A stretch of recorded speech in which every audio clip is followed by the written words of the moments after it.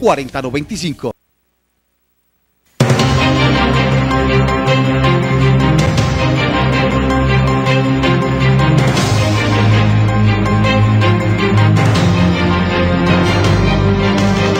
Exfuncionarios que ostentan derechos de carrera administrativa y que les fueron suprimidos sus empleos en hospitales en liquidación. Cargos serían provisionados en el Hospital Divino Niño por solicitud de la Comisión Nacional del Servicio Civil. No solamente el Hospital Divino Niño recibió este documento, tengo entendido que varios hospitales del departamento es para provisionar los cargos a las personas que tienen derecho de carrera administrativa de unos hospitales que han sido liquidados, como en este caso en el oficio hablan del hospital de Palmira y el Hospital de Palestina Caldas. La Feria de Buga se concentrará este año en el Coliseo de Ferias Camilo Cota Cabal. Las festividades no perderán el sentido social. Todos los bugueños podrán disfrutar de la programación. Nosotros vamos a entregar 55 mil entradas al Coliseo de Feria y a la Concha Acústica. Va a ser una cosa muy bonita donde se mantiene lo social, pero también se le da un énfasis muy grande a lo empresarial. Consejo analizó con la Autoridad Ambiental y Obras Públicas la explotación de material de arrastre en el sector del Carmelo. Nos preocupa las quejas de la comunidad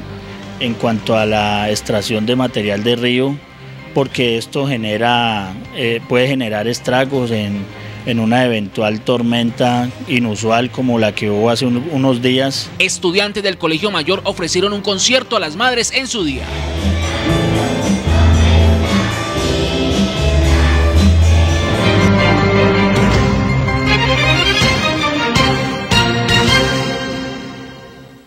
Ahora en Buga ya puedes encontrar el mejor y más completo almacén con todo en bisutería para damas y niñas. Almacén Verde Limón, con precios que solo Verde Limón tiene para ti. Además, accesorios para celulares y lo último en gorras. Almacén Verde Limón, calle 21, número 1551, Buga.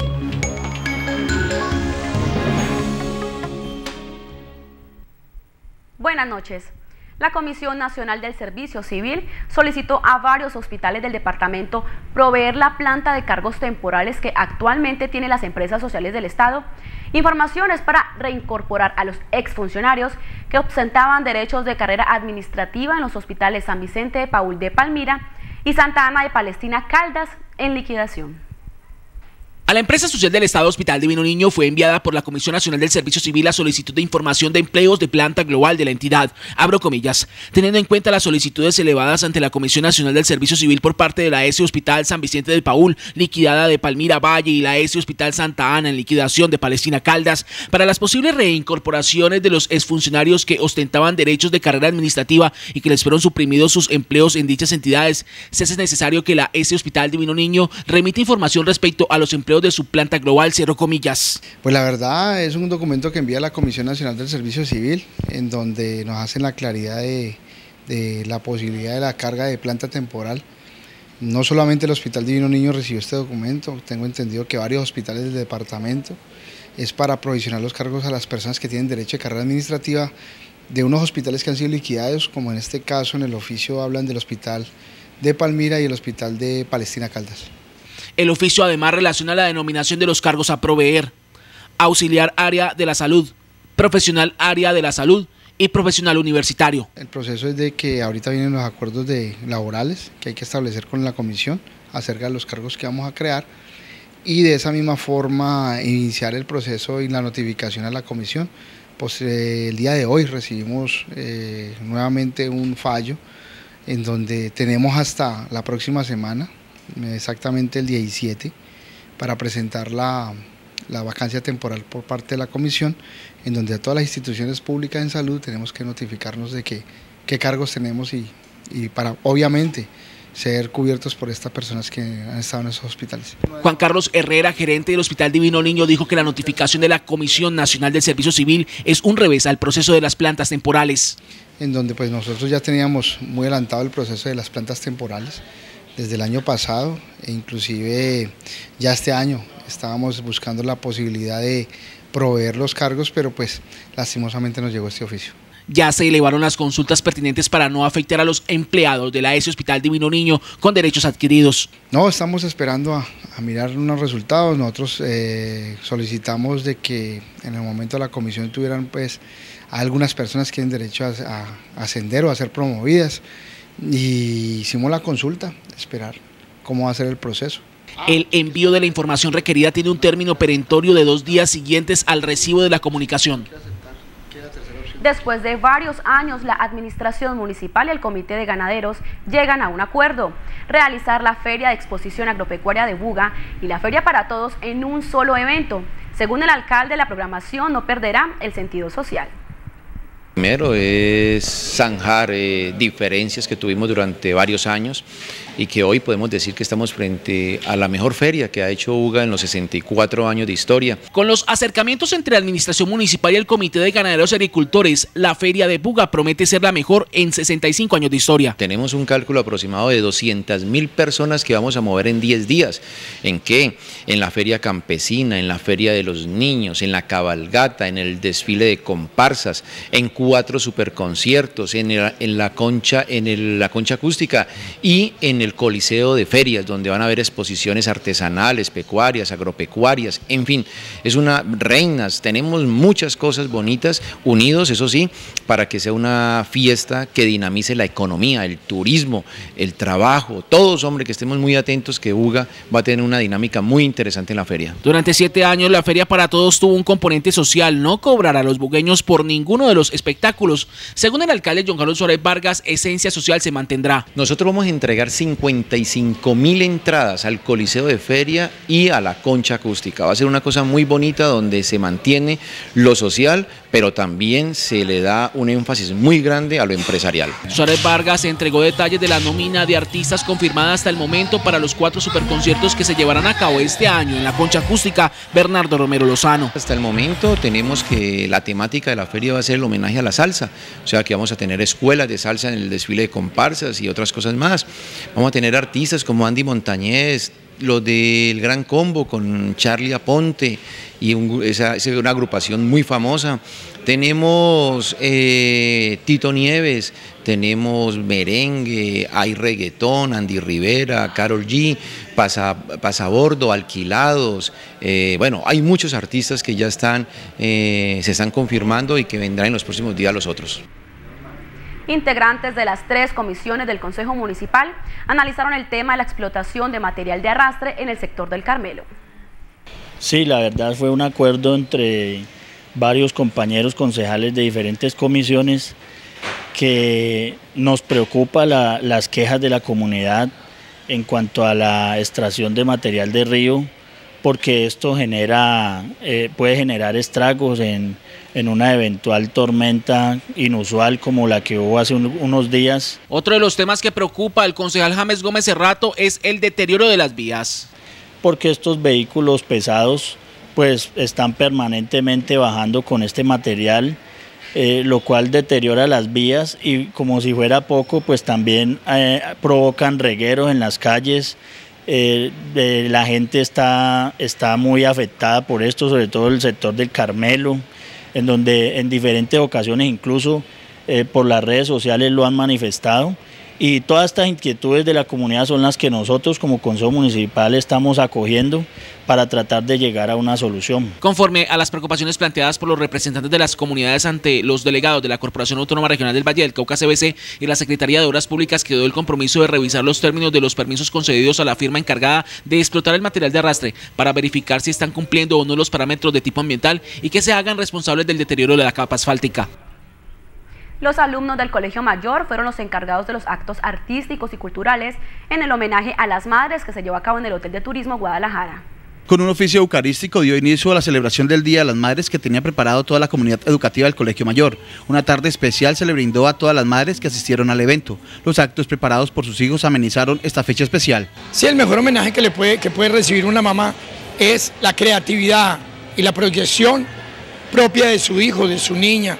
Por eso el Colegio Mayor celebra este acto en el Hotel de Turismo Guadalajara con una serie de presentaciones en las cuales los niños desde preescolar hasta grado 11 rinden un homenaje a las mamás, una sagrada Eucaristía y una hermosa serenata de banda fiesta directamente desde Bogotá para todas las madres. Músicos integrantes de la banda del colegio interpretaron canciones como parte de la serenata para ellas.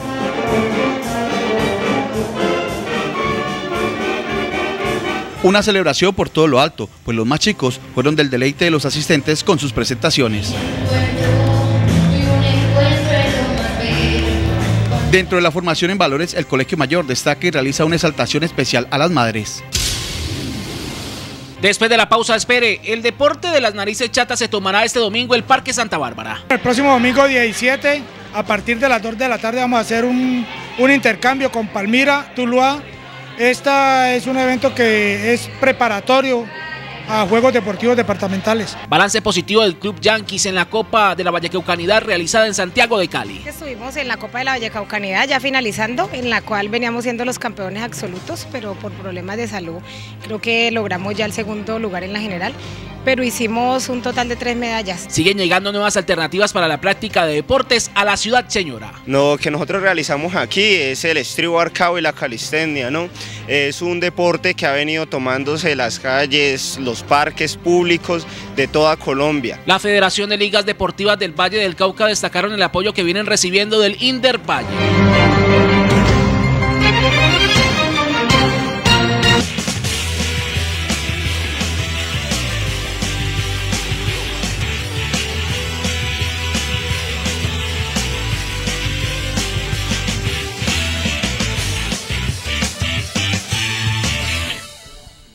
Hola, bienvenidos a la información deportiva.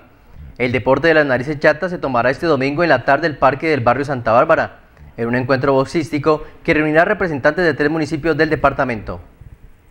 El domingo 17 de mayo en el Parque del Barrio Santa Bárbara se llevará a cabo un intercambio amistoso en la disciplina del boxeo entre los municipios de Tuluá, Palmira y Buga. El encuentro deportivo servirá como preparación para los Juegos Deportivos Departamentales. Hay un grupo bueno de muchachos pero pues eh, estamos esperando eso, ¿no? Empezar a que, a que hayan competencia para poder irle subiendo el nivel. Eh, esperamos que aquí a que se realicen los Juegos Deportivos Departamentales hayamos hecho siquiera una, seis competencias para que los muchachos vayan en mejores condiciones. El deporte de las narices chatas se convertirá en un atractivo más para las muchas familias que se reúnen cada fin de semana en el Parque de los Leones. Según los pronósticos, se prevé alrededor de 15 combates. De Palmira vamos a traer cuatro deportistas, cuatro boxeadores, e igualmente de Tuluá cuatro, serían uh, un total de ocho. Eh, en total, con las, con las que vamos a hacer acá internas, vamos a hacer en total 15, 15 combates. Desde las 2 de la tarde del domingo se podrá apreciar la exhibición boxística, cuando entre golpe y golpe, los jóvenes inician su preparación de cara al máximo evento deportivo de la comarca, a realizarse en el mes de septiembre. El Club Yankee de Patinaje participó en la Copa de la Vallecaucanidad en la ciudad de Cali con balance positivo. Mientras tanto, el sábado se empezarán las pruebas que servirán para ir depurando la selección buga de cara a juegos departamentales. Actualidad del patinaje a continuación. La ciudad de Cali fue la sede de la Copa de la Vallecaucanidad, en donde se reunieron los más destacados patinadores de la región en las categorías transición, el Club Yankees ocupó el segundo lugar en dicho evento. Estuvimos en la Copa de la Vallecaucanidad ya finalizando, en la cual veníamos siendo los campeones absolutos, pero por problemas de salud creo que logramos ya el segundo lugar en la general pero hicimos un total de tres medallas, dos de bronce y una de plata, o sea que es un buen promedio para estar ganando medallas con tan solo dos deportistas en esa copa. Por otra parte, en el patinódromo municipal Indulfo Lozano se desarrollará el primer chequeo municipal de la disciplina, en donde se empezarán a observar nuevos talentos para la selección Buga categoría Juegos Departamentales. Este sábado estaremos en el primer chequeo para escoger la selección Buga que nos estará representando en los próximos Juegos Departamentales. Eh, iniciaremos a las 8 de la mañana, yo creo que más o menos una jornada de, de todo el día, todo el sábado. Se hace extensiva la invitación a todos los clubes de patinaje de la ciudad para que asistan con los jóvenes nacidos en los años 2004 y 2005 al chequeo cuya motivación principal es fortalecer la selección municipal. Hacemos la invitación extendida para que todos los deportistas que sean nacidos en el 2004-2005 puedan asistir a este chequeo municipal perdón, para que hagan parte de la selección Buga, la cual nos estará representando en nuestros juegos. Este será el primero, estaremos haciendo en el mes de junio más o menos, de julio, perdón, el segundo chequeo y ya les avisaremos la fecha para el tercer chequeo, donde ya estaremos escogiendo la selección Buga. Las expectativas de cara al chequeo municipal son grandes, según lo manifestado por Eliane Lozano, pues se cuenta con un muy buen semillero. Nuevas alternativas para la práctica del deporte siguen llegando a la ciudad. En este caso, las modalidades de Street Workout y Calistenia se convierten en una buena opción para los jóvenes de Buga. La calle Primera Sur se ha transformado en un espacio importante para la práctica de actividades físicas. El Street Workout y la Calistenia reúne cada tarde un número importante de jóvenes en todas las edades quienes buscan a través de esta modalidad mantener la forma. Lo que nosotros realizamos aquí es el estribo arcado y la calistenia, ¿no? Es un deporte que ha venido tomándose las calles, los parques públicos de toda Colombia.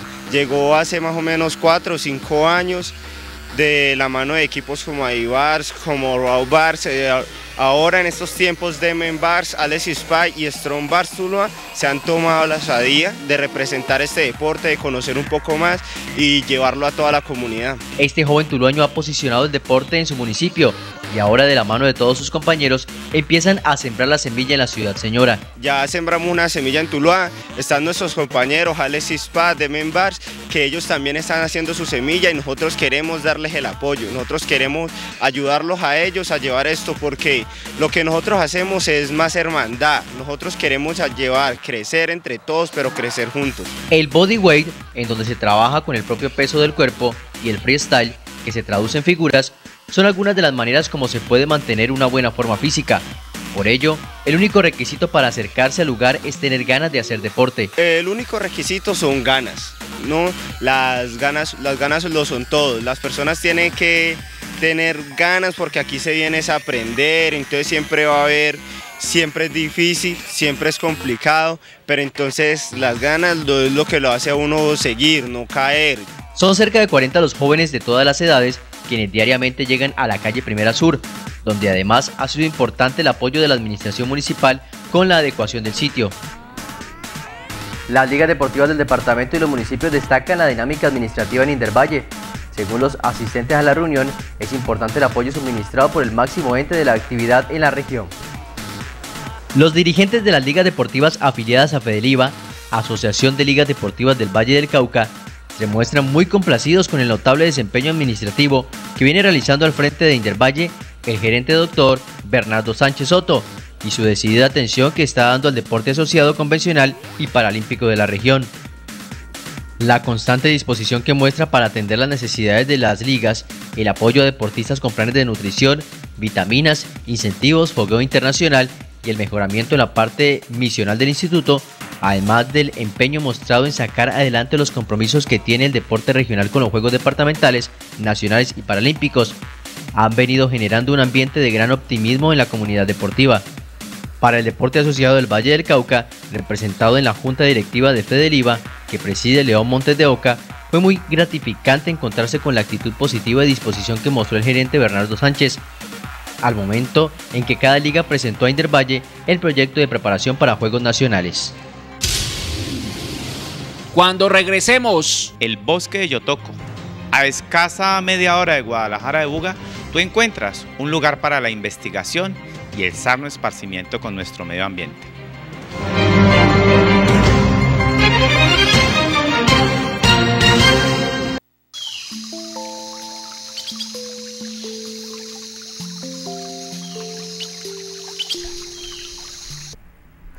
Ciudad Verde, el profesor Amaya nos hablará esta semana del bosque de Yotoco. El siguiente es un aporte de la Casa de la Ciencia. Dos ecosistemas estratégicos tenemos los buqueños muy cerca. Por un lado, la laguna de Sonso, de la que en muchas ocasiones hemos hablado, y por otro lado, el bosque de Yotoco. A escasa media hora de Guadalajara de Buga, tú encuentras un lugar para la investigación y el sano esparcimiento con nuestro medio ambiente. Reserva Nacional Forestal Bosque Yotoco es un espacio de investigación y educación ambiental que abre sus puertas a todos los estudiantes, docentes e investigadores interesados en adelantar proyectos en pro de la conservación y buen uso de este espacio. Es uno de los últimos remanentes de bosque protegido en la vertiente oriental de la cordillera occidental, lo cual la hace importante desde el punto de vista de la conservación y la oferta de servicios ecosistémicos, destacándose la producción de agua potable para el municipio de Yotoco y más de 10 acueductos veredales de la región. El bosque de Yotoco es el lugar donde los estudiantes e investigadores de la Universidad Nacional visitan para realizar allí estudios de investigación relacionados con la cantidad de especies animales que hay allí, la manera como éstas permanecen en el espacio y en el tiempo y otras. La Reserva Nacional Forestal Bosque Yotoco es patrimonio de la Universidad Nacional de Colombia desde el 26 de agosto de 1959, resolución 512 del 19 de noviembre de 1959 del Ministerio de Agricultura de Colombia y declarada como laboratorio ambiental según resolución del Consejo CD 118 de 2005 En ella se han desarrollado un sinnúmero de trabajos de investigación y extensión, especialmente en flora, parcelas permanentes de diversidad de especies, regeneración natural, inventarios y fenomenología, y en fauna, diversidad de estimaciones de poblaciones y manejo. Al visitar el bosque de Yotoco se pueden realizar salidas diurnas, pero también las nocturnas son muy interesantes. Pues al realizar las salidas nocturnas puedes encontrar serpientes, ranas y otra variedad de especies que alberga este importante ecosistema. La ubicación geográfica de la reserva proporciona un ecosistema adecuado para albergar cientos de especies animales y vegetales a lo largo y ancho de sus 559 hectáreas. Entre las especies más representativas se encuentran el mono aullador rojo, la mariposa monarca y los monos pequeños de hábitos nocturnos, Oatus trivirgatus. También ranas pequeñas de vistosos colores y la pava caucana, Penélope persipiscas, una especie endémica de la región que se encuentra en vía de extinción.